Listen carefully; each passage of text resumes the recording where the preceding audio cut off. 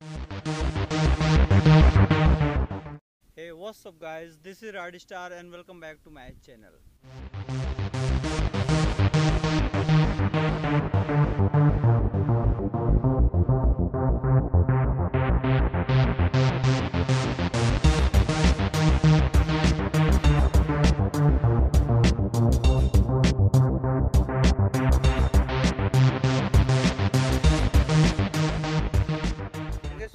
इसका रीज़न है चूज़ करने का, वो है इसका लुक काफ़ी एग्रेसिव एंड स्पोर्टी लुक है इसका.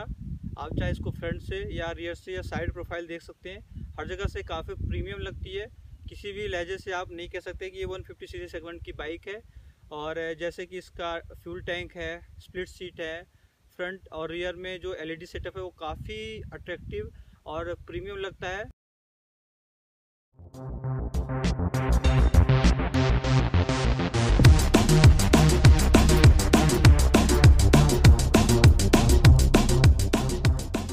सेकंड डिज़ाइन है जिसने मुझे अट्रैक्ट किया इस बाइक की तरफ़, वो है इसका फ्रंट में डुअल एलईडी सेटअप और रियर में स्लिक एलईडी टेलैम्प जो कि काफ़ी एग्रेसिव लगता है और काफ़ी स्पोर्टी लगता है और इसके लुक को इन्हेंस करता है।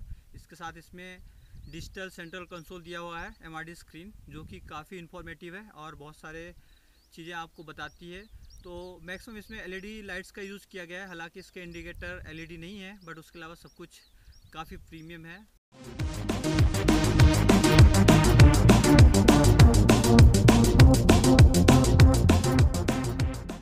गाइस थर्ड जो रीज़न है, वो है इसका बेटर इम्प्रूवड इंजन 150 सीसी की जगह पे अब इसमें 155 सीसी का इंजन यूज़ किया गया है, जो कि काफ़ी अच्छा टॉर्क देता है। और आप रोड में गाड़ी चला रहे हैं तो ऐसा नहीं लगता कि आप 150 सीसी की गाड़ी चला रहे हैं, क्योंकि इसमें इंजन से पावर बहुत ज़्यादा प्रोड्यूस होती है। एंड गैस चौथा जो रीज़न है, वो है इसका बेटर इम्प्रूव माइलेज सिटी में आपको 35 से 40 की एवरेज आराम से मिल जाती है। जबकि अगर आप हाईवे में टूरिंग कर रहे होते हैं तो ये करीबन 50 का एवरेज आपको दे देती है। इनका इस पाँचवा जो रीजन है, वो है इसका ब्रांड जैसा कि आपको पता है यमा काफ़ी जाना माना ब्रांड है, और इसकी गाड़ियाँ बहुत ही अच्छी होती हैं तो blindly you can go for it after sale इसकी सर्विसिंग भी बहुत ही अच्छी है।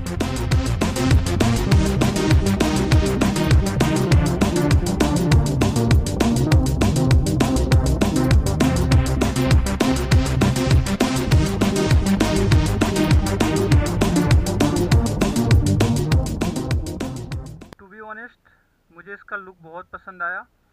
और इसके इंजन के बारे में मुझे ज़्यादा नहीं पता क्योंकि मैं कोई ऑटो एक्सपर्ट नहीं हूँ, पर एज ए बाइकर मुझे इसका जो रोड परफॉर्मेंस है वो बहुत अच्छा लगा।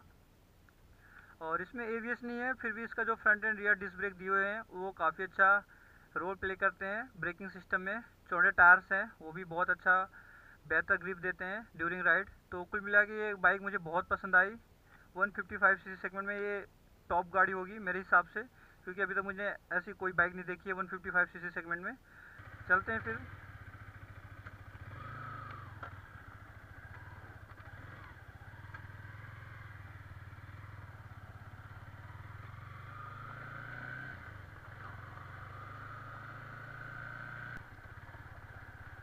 एंड गाइस इसकी हैंडलिंग काफ़ी अच्छी है, जैसा कि मैंने पहले बताया। और जैसे कि मैं अभी डेजर्ट में चला रहा हूँ तो ग्रिपिंग में भी काफ़ी इम्प्रूवमेंट है। कोई दिक्कत नहीं आ रही है मुझे ग्रिपिंग में बाइक की।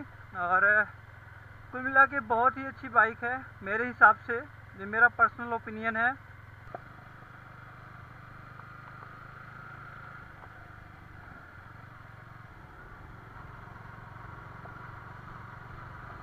एंड गाइस मैक्सिमम लोगों की कंप्लेन है कि इस बाइक में राइडिंग पोस्टर सही नहीं है और शोल्डर्स में और पाम्स में पेन होने लगता है। तो शुरू शुरू में मुझे भी हो रहा था बट बाद में मैंने एक्सपीरियंस किया कि अपने थाइस से इसके टैंक को पकड़ के रखें शोल्डर्स को और पाम को खुला छोड़ दें। तो काफ़ी हद तक आपका पेन जो है वो कम हो जाता है।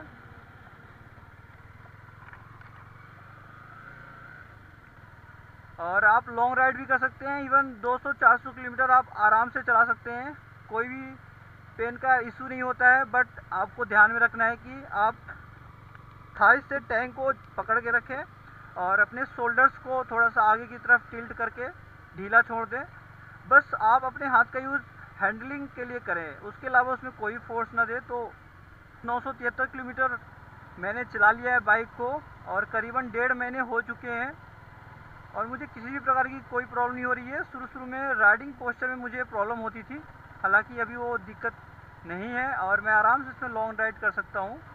जैसा कि मैंने आपको बताया पोस्चर आपको ठीक करना है। उसके हिसाब से आप कोई भी लॉन्ग ड्राइव आप आराम से कर सकते हो।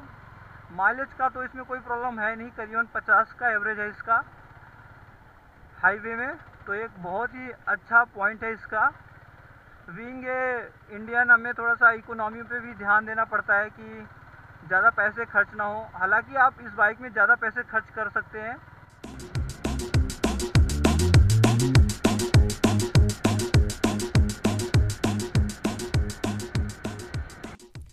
so guys this is it from this video hope you liked it and if you liked give a thumbs up and guys if you're watching my video for the first time then don't forget to subscribe my channel this is sanjay from ride star signing off